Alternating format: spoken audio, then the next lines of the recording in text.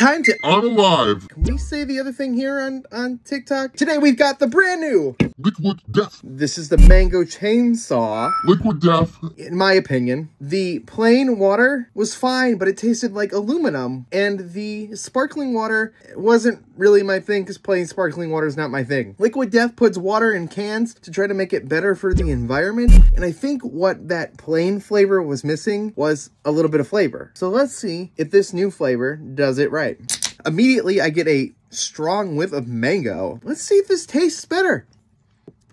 Oh no, it's more sparkling. Dave, you could have read the can and it's not bad. And if anything, it's my favorite can of Liquid Death. If you handed me this, I would drink it. It's not going to become my new favorite. Liquid Death's Message moving forward seems really good to me, but this one doesn't really slap as much as I want it to. But Mango Chainsaw is my favorite Liquid Death.